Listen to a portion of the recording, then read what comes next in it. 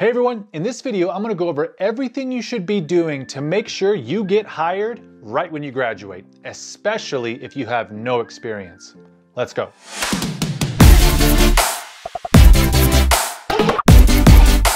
So I think a lot of us engineers kind of subconsciously assume that once we graduate, there's gonna be a long list of job offers just waiting for us to choose from. You know, we made it through the gauntlet of the degree, right? So the career should just be our reward, right? It should just be handed to us along with our degree.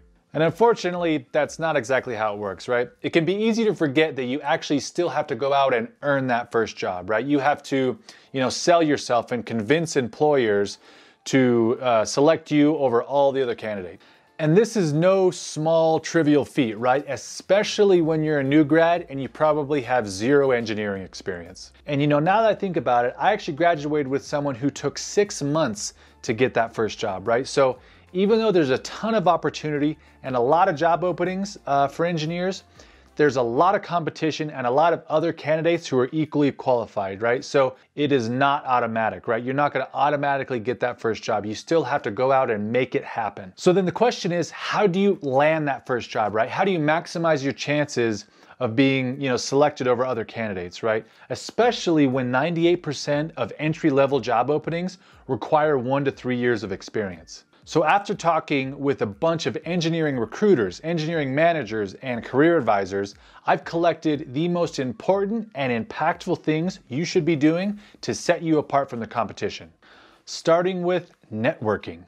I know you've probably heard this before, you're probably sick of hearing about it, but the truth is there's probably nothing that holds more potential power towards you landing that first job than a strong network, especially when you have no experience. In fact, according to this 2016 survey, 85% of jobs are obtained through networking. That's a lot.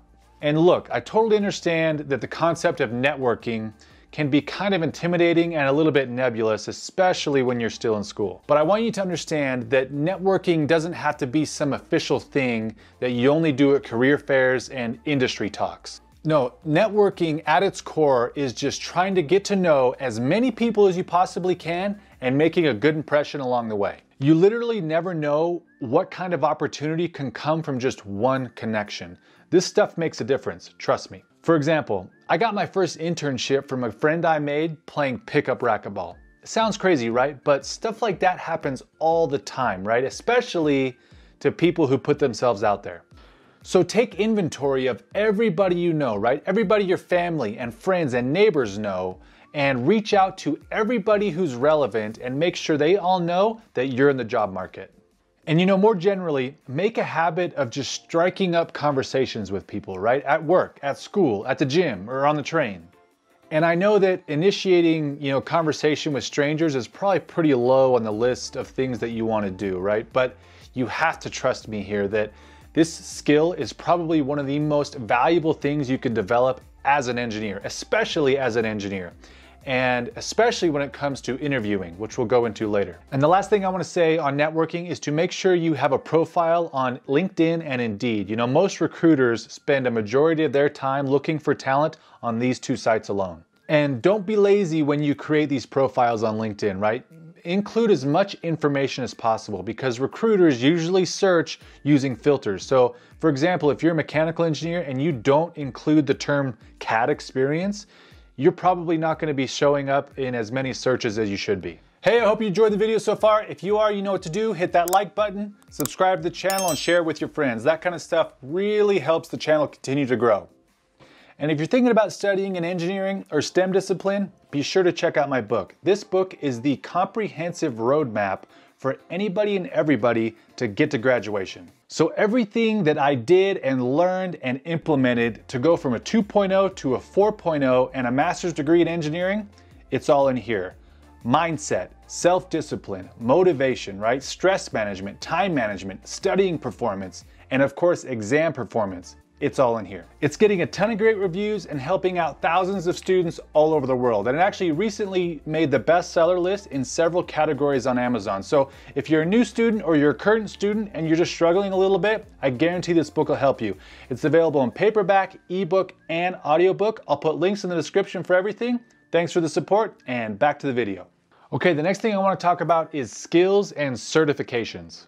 So, outside of your degree, there is a huge list of skills and certifications that you can work on in your own time that will set you apart from the competition. And according to the managers and recruiters that I've talked to, this stuff makes a big difference. So, there's a huge list of certifications and skills that you could consider depending on what you're majoring in. But here's a list of kind of the most overarching and valuable ones that will for sure make a big impact on your resume Lean and Six Sigma.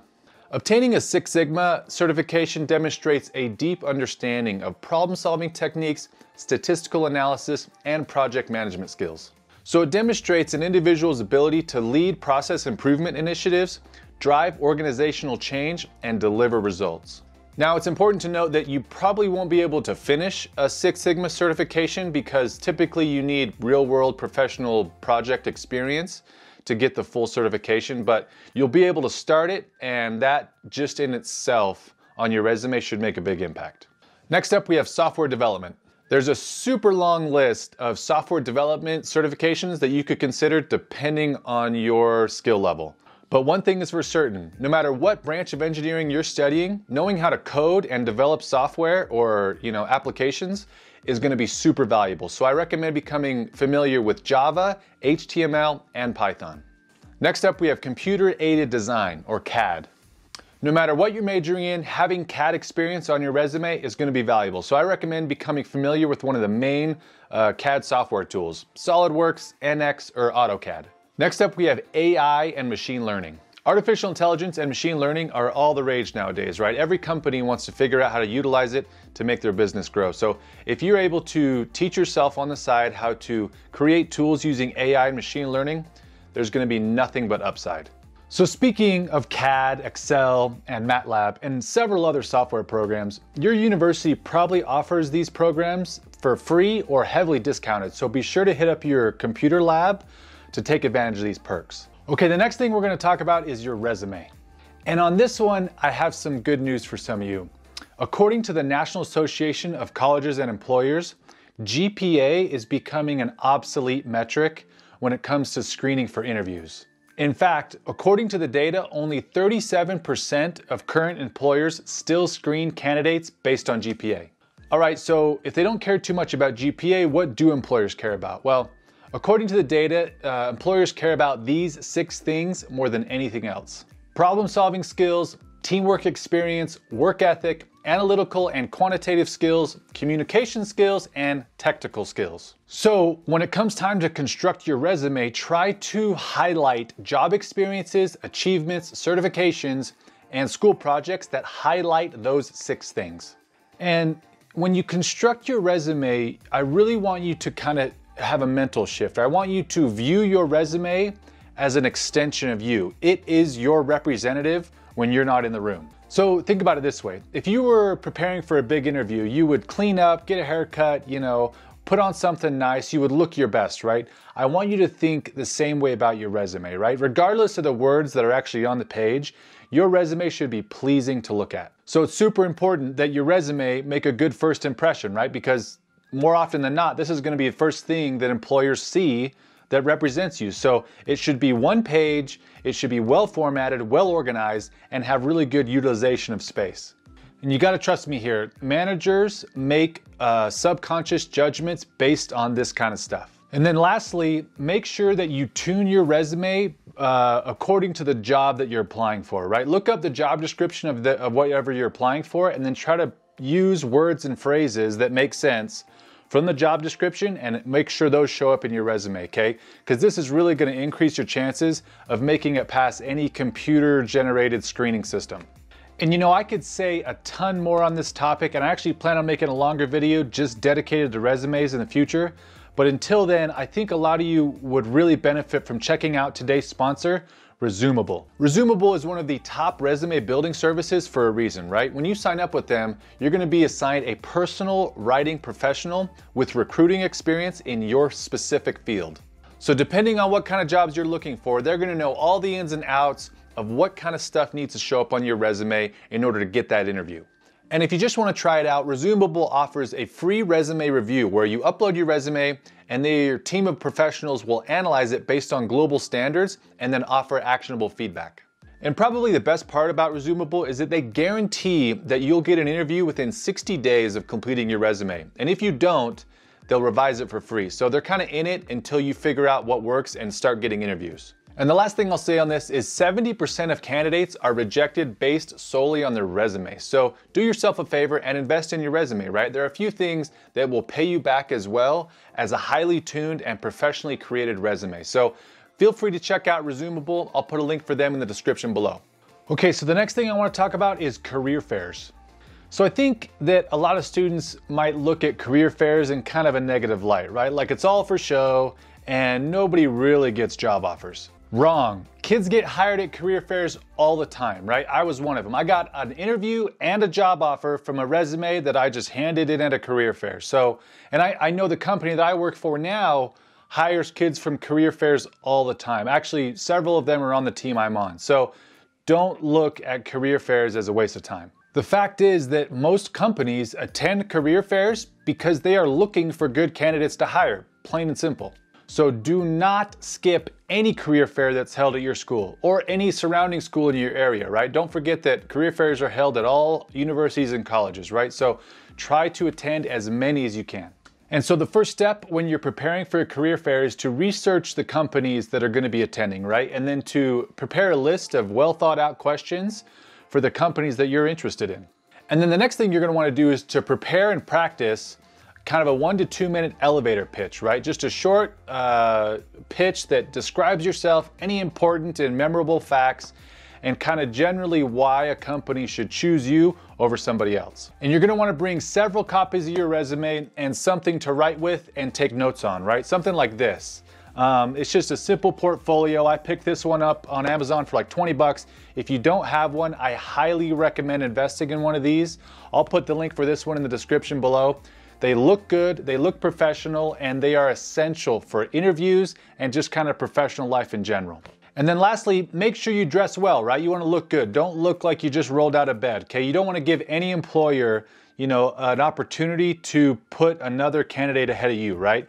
And then the other reason is because you want to be interview ready. Um, a lot of employers will kind of make a list of the standout candidates from the career fair and then hold legitimate, you know, one-on-one closed door interviews later that same day. Okay, and the last thing that we need to talk about, but definitely not the least thing, is interviewing. So I've said this before, but it really bears repeating because interviewing is probably one of the most underrated and important skills that any engineer can cultivate. Because if there's one thing that can level the playing field between a less qualified candidate and a more qualified one, it's a great interview. So the interview is where you're gonna have a chance to show off your personality and characteristics that aren't on your resume. Like how professional you are, how well you communicate, how respectful you are, and how, you know, good of a fit you'll be on their team. So step one in preparing for any interview is to research the company and the position that you'll be interviewing for and to prepare a list of non-HR related questions based on that stuff, right? And then to practice interviewing with a family or friend, right? You're gonna wanna make sure that you're ready for the most common questions. Tell us about yourself. Why should we choose you over someone else that is equally qualified? What are your strengths and weaknesses? Give us an example of where you overcame adversity, where you failed, and where you had conflict with a team member or coworker. And what was the most complicated project you've worked on, and describe why it was so complicated.